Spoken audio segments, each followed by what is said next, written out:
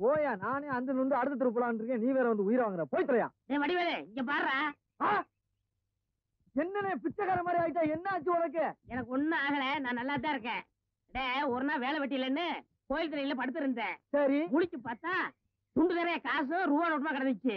பிச்சைக்காரன் நினைச்சு போட்டு போயிட்டாங்க? ஆனா இந்த ரூட்டு நல்ல ரூட்டா இருக்கேன்னு அதையும் நான் ஃபாலோ பண்ணிட்டேன். பாத்தியா? தினமும் இவ்வளவு ரூபா வந்து விழுகுது. இப்ப கூட நான் பேங்க் தேடி போயிட்டு இருக்கேன். பேங்க் போய்கிட்டு இருக்கியா? அப்ப இவ்வளவு பணத்தை வச்சு என்ன பண்ண போற நீ? அதான்டா ஒண்ணும் புரியல. எங்கேயாவது வட்டிக்கு விடலான்னு பாக்குறேன் ரெண்டு வட்டி தான். நல்ல பாத்தியா இருந்தா சொல்லு. அஞ்சு வட்டி எல்லாம் கேட்க மாட்டேன். குஸ்த வந்துரும். ஆ. உனக்கு ஏதாவது போடுறேன் உனக்கு போறியா சொல்லி தோணுடா அப்படியா? ஆமா. இப்ப என்ன செய்யறோம் நேர டவுனுக்கு போறோம் பேங்க்ல போய் பணத்தை போடுறோம் நல்ல ஹோட்டல்ல போய் சாப்பிடுறோம் வா. ஒண்ணுமே புரியல எனக்கு. புரியும்டா வா.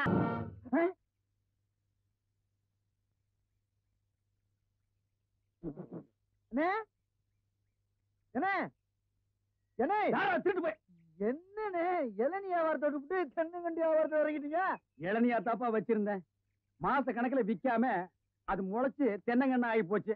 நான் இந்த சனியில உழைச்சிட்டு வேற வியாபாரம் பண்ணலாம்னா பணம் கிடைக்க மாட்டேங்குது. அட கன்றாவியே உங்களுக்கான இந்த நிலைமை?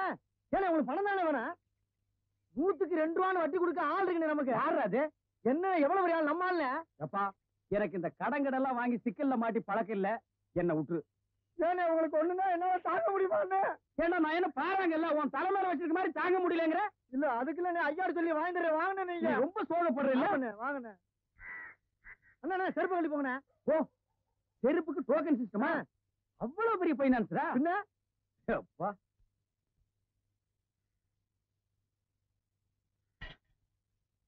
வாங்கி வச்சா போயா இங்கே உட்காருங்க. என்னடா அங்க உட்கார்ந்து ஆ, அவர் மூடி எப்படின்னு சொல்ல முடியாது. அவர் லெவலே வேற.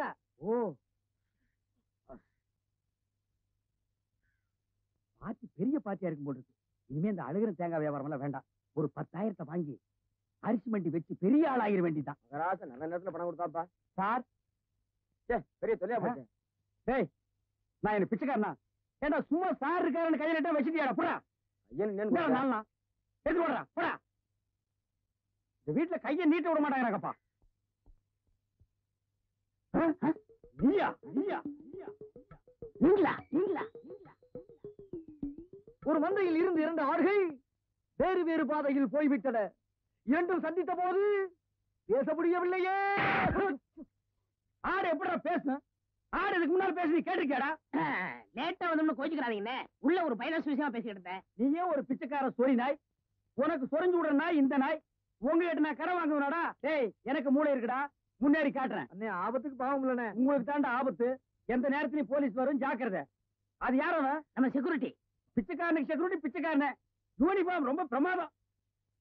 பாத்தியா என்ன சொல்லிட்டு போறான்னு? ஒரு நல்ல பாத்தியா குட்டி வர சொன்னா லொல்லு பாத்தியா குட்டி வர? பாஸ் பாஸ் மன்னிச்சிருங்க. ஐயா.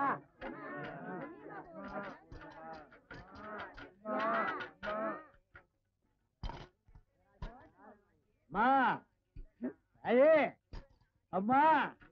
அம்மா எனக்கு தர்மம் பண்ணுங்க. மக்களை பெற்ற மகராஜி. புள்ளைய பெற்ற புண்ணியவதிங்களா எனக்கு தர்மம் பண்ணுங்க. அம்மா. ஐயே தாயே எனக்கு தர்மம் பண்ணாதாம்மா. நீங்க நல்லா இருப்பீங்க. எட்டனா கூட போற பரவாயில்ல. நாய் நாய் நாய். ஐயா தீஞ்ச மண்டா தர்மம் பண்ணியா? வேணியா உனக்கு. இளநீ அதிக விலை வச்சு வித்தியல்ல அந்த பாவம் உனக்கு குஷ்டம் பிடிச்சு போச்சு. ஏய், அறிவு கெட்டவனே. இளநீ அஞ்சு ரூபாய்க்கு வித்தா குஷ்டம் பிடிக்குமா?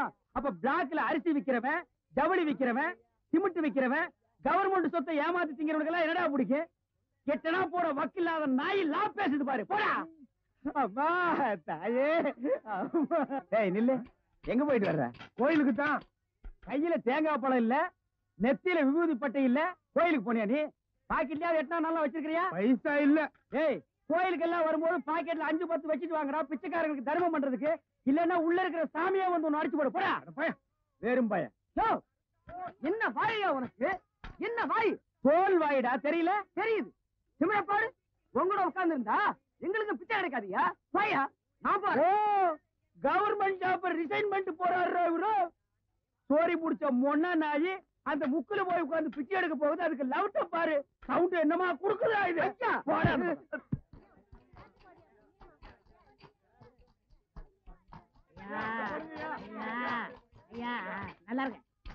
ஓ என்ன அங்கேயும் எங்கேயும் சுத்தியும் புத்தியும் பார்த்து இவங்கிட்ட கொண்டு வந்து போடுற?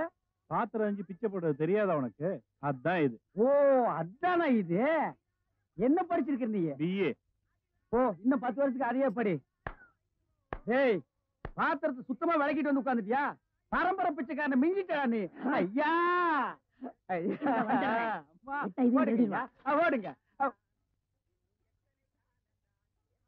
தர்மம் பண்ணுங்க ஐயா ஐயா தர்ம பிரபு எனக்கு தர்மம் பண்ணுங்க ஐயா கையில கால்னா இல்லப்பா. அப்புறம் எதுக்கு உள்ள போனேன் ஓசியில உண்டை கட்டி வாங்கிட்டீங்க வா. நம்ம ட்ரூப் இருக்கு லைன்ல போய் உட்காரு. பிச்சை எடுக்க துமுறு போல போல உனக்கு. ஆமா நான் பிச்சை எடுக்கிறேன். இவன் பேங்க் வச்சு நடத்துறான். டேய் நான் பிச்சைக்காரன் தானே? இந்த பாத்தியா பத்து ரூபா. உன் பாக்கெட்ல பத்து பைசா காட்டுறான் காட்டுறா. போடா நாய நாய போடா. போலீஸ் ஊருக்குள்ள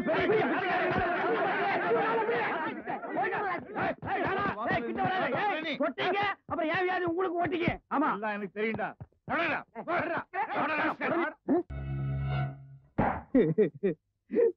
அழுவாதப்பா. அழுவாது. ஐயோ என்ன கொண்டு வந்து இந்த கும்பல்ல போட்டாங்களே. நான் யாரு? இவங்க யாரு? புலிய பார்த்து பூரா சூடு போட்ட கதை ஆகி போச்சு. அழுவாதப்பா. அழுவாத. ஏன் அழுகுற நமக்கெல்லாம் மறுவாழ்வு கொடுக்கத்தானே அரசாங்கம் நம்மள எங்க கொண்டு வந்து வச்சு அடைச்சிருக்காங்க கவலைப்படாது டேய் என்ன தொடாதடா என்ன தொடாத நீயும் அதான் நானும் அதான். அப்புறம் என்ன தொடாத டேய் நீ வேணா தான் இருக்கலாம் நான் அது இல்லடா அப்புறம் எது நான் சும்மா டூப்ளிகேட்டா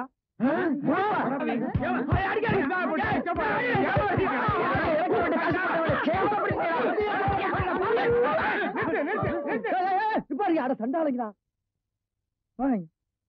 ஐயாட்ட நான் சொல்லி ஜாமீன் எடுக்க சொல்லியிருக்கேன் இனிமேலாவது புத்திசாலித்தனமா நடந்துக்குங்க. ஓஹோ வெளியில எல்லாம் பிச்சை எடுக்கிறீங்க. இங்க வந்து ஜாமீன் எடுக்கிறீங்களா? என்ன இருந்தாலும் நம்ம ஒண்ணுக்குள்ள ஒண்ணு இல்லையா? தெரியுதுடா தெரியுது. ரொம்ப காட்டாத. பிச்சை போட்டவெல்லாம் வெளியே நிக்கிறான் உருவிக்கு போறான். வாங்க. ஏய் நல்ல சமயத்துல வந்து காப்பாத்துனீங்க. இல்லன்னா என்னையும் அந்த கும்பல கொண்டு போய் போட்டுருப்பாங்கடா. என்ன இருந்தாலும் நம்ம பாசம் விட்டு போயிருமா என்ன? ஏய் இனிமேலாவது இந்த சோம்பேறித்தனமான தொழிலை விட்டுட்டு உழைச்சு சாப்பிடணும். அதனால இந்த கையில கால்ல எல்லாம் மினுக்கு மினுக்குன்னு தெரியுதுல்ல? இது எல்லாம் ஏதாவது சாமியை கும்பிட்டு. கோயில் உண்டியல்ல போட்டுருங்க. சரிங்கண்ணே. இதுல இருந்து என்ன தெரியுது? ஒருத்தனுக்கு பல தொழில் தெரிஞ்சாலும் அவன் ஒரே தொழில் தான் செய்யணும். அப்பதான் உருப்பிடுவாங்க. டேய், ஒருத்தருக்கு ஒரு தொழில் தாண்டா தெரியும். பல தொழில் தெரியவே தெரியாது. சும்மா தெரிஞ்ச மாதிரி காட்டிக்கிறது. இது தப்பு இல்லையா? கண்டிப்பா. ஜனங்களை ஏமாத்துற மாதிரி இல்லையா. இதுல இருந்து எனக்கு ஒண்ணு தெரியுது. என்ன? அன்னையும் பிதாவும் உன்னறி தெய்வம்னு அவ்வையார் சொன்னது எனக்கு தெரியுது? அந்த பார் அவ்வையார் கூப்பிடுறாங்க. போ தெரிஞ்சுட்டு வாடா. அவ்வையார் கூப்பிடுறாங்க. ஞான பழம் வாங்கிட்டு வா. No!